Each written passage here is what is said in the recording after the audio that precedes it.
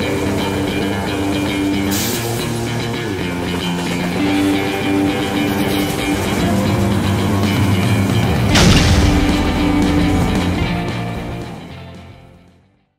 Hi everyone and welcome to my indie review vlog, the show that gives you spoiler-free reviews of indie films. My name is Asaf Angel from Indie Productions and today I'd like to talk to you about 2017's The Black Gloves, which we got to view after pledging to its Kickstarter campaign. The Black Gloves is brought to us by Scottish indie filmmaker Lawrie Brewster uh, from Hex Media.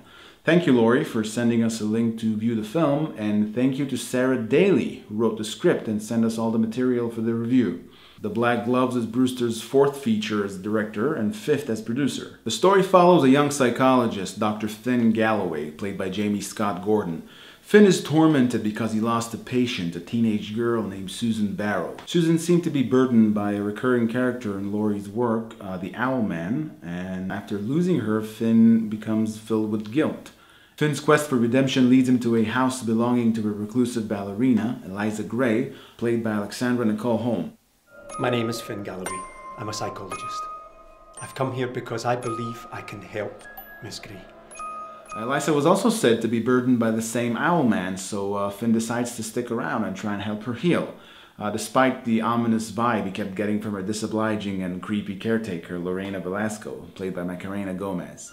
Everyone who comes here wants something. What is it that you want? Like I said, I just want to help. The film is visually astounding, packed with breathtaking shots, meticulously and professionally executed. Shot in black and white, The Black Gloves gives homage to classic 1940s horror films.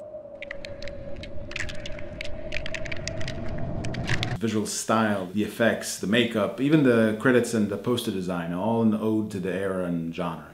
Except for a few choices I didn't quite understand but could easily be pegged as a part of the uh, experimental element in the film, I was captivated and inspired all the way through. Uh, there's no doubt that the people behind this project are top level professionals.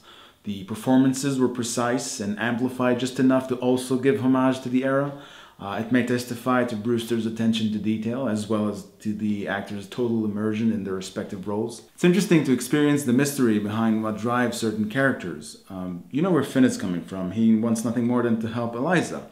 Uh, but you don't know what Eliza or Lorena want. Um, their drive is more obscure, so you might feel compelled to explore like Finn did.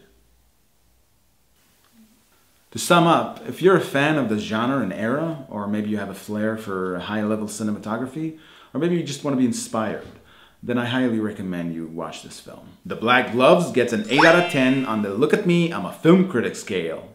Go check it out for yourselves. It's available either on Amazon or as a collector's edition on Hex Media TV's official website. Links in the description.